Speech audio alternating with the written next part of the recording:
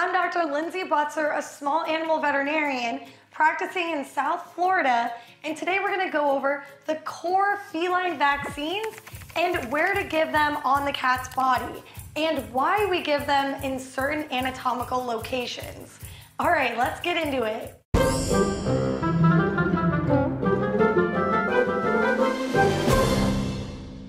Before we get started, people always ask me, where do you get your scrubs? They're so cute and fitted, and I get them from Barco Uniforms. So what I'm wearing right now is Grey's Anatomy Spandex Stretch, and this is a super pretty deep purple for springtime. So I'm gonna put the link in my description below, and you guys can shop online for all of their awesome scrubs. The four core feline viruses that we vaccinate them to protect them against the viruses in their environment are gonna be one, feline herpes virus type one, or feline rhinotracheitis virus.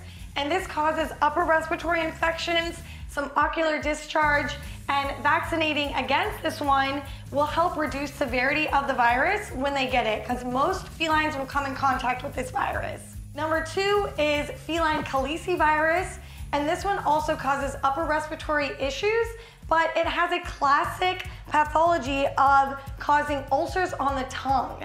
So this vaccine will help reduce the severity of clinical signs if your cat gets this. Number three, which I'm sure you've heard of this one, feline distemper virus or panleukopenia.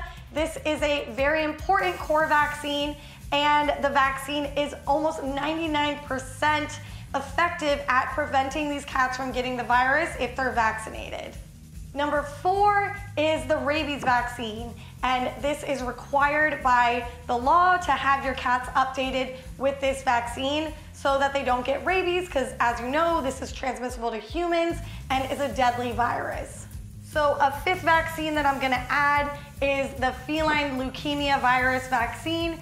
This one is important to me in South Florida with our outdoor cats that are exposed to feline leukemia virus through saliva or grooming. So this vaccine will help protect those cats that are gonna be outdoor cats. I also recommend it to pet owners having cats indoors who like to rescue cats or simply have multiple cats in their house. That's an important vaccine. So the core vaccines are actually gonna only be two shots, and that is because this vaccine here is a combo, the FVCRP, and that has those first three viruses in them, feline herpes, calici, and feline distemper. So this is one vial that carries those three viruses to protect your cat against them. And then the other one is the rabies, and then this one is the feline leukemia virus. So the FVCRP vaccine is gonna be given in the front right limb. And we give our vaccines in cats in the lower limbs. So on the scapula or as low down as you can go, where there's some easy skin you can pick up. And same with the hind limb, as low as you can go on the limb.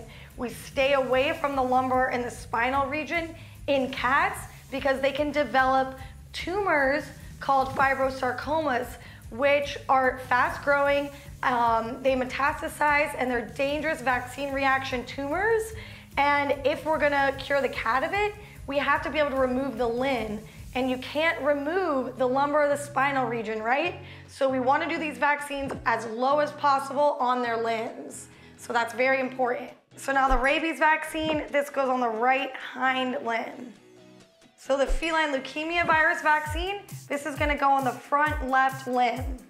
All right, so we're gonna vaccinate this kitty. This is Fred the tabby cat helping us for this video.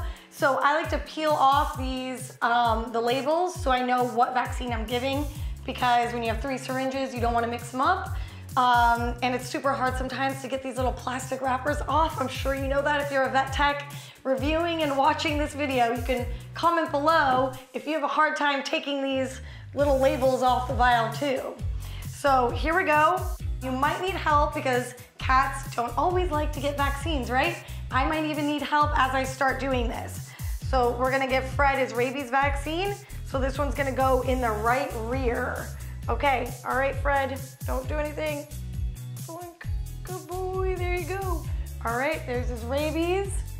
And then now we're gonna give him his FVCRP, which is feline distemper. So that goes subcutaneously under the skin. I've made a video on how to give a sub-Q injection. You can find that on my YouTube channel. So here we go. We're gonna give him that. Good boy. All right. And then here is that feline leukemia virus vaccine. That goes on the left front. So I'm gonna go lower on the limb here and I'm giving him that vaccine. All right, just like that. That's it. Good boy, Fred, you did a great job. Did a good job. So cats, after they get their vaccines, some of them can become lethargic, weak, or not wanna eat for a couple days. And if this is happening, please advise those clients to come back in and you may need to give them a steroid injection or some fluids or supportive care to get them eating again if they had a reaction to the vaccines that they got. All right, guys, I hope you had a great review of the vaccine locations in cats and learned something about the core vaccines for our feline patients. Hit that subscribe button, hit the thumbs up to help this video circulate to more animal lovers like yourself, and I hope to see you guys back here on my channel next week.